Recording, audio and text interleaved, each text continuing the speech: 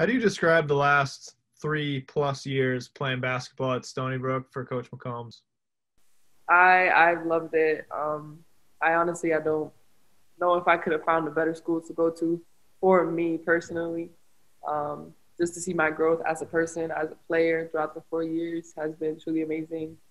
Um, become the player that I have become, it's been just such a blessing um, to meet the people that I have, to have these experiences. Um, it's just been truly amazing.